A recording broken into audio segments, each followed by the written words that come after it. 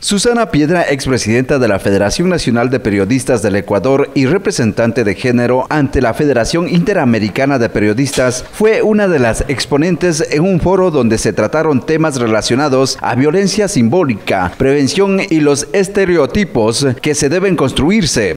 Y conocí un caso de una, de una señora, estos días me contaban que la señora por su noveno hijo, hija, y cuando supo que iba el noveno era niña, hasta se botaban los árboles para, para producir un aborto y, no volver a tener más hijos, porque la obligaban a tener.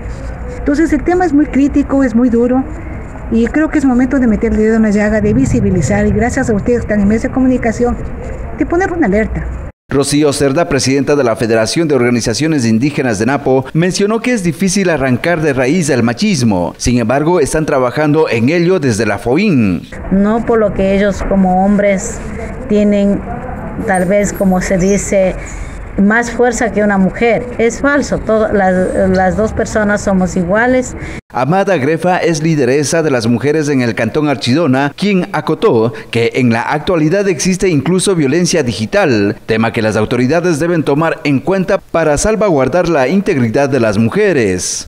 Nosotros estamos considerando de que hoy, con toda la educación que estamos haciendo, con una socialización o capacitación en los procesos eh, que venimos trabajando en no a la violencia a la mujer, eh, consideramos que sí está avanzando la educación en, la, en el machismo dentro de las comunidades.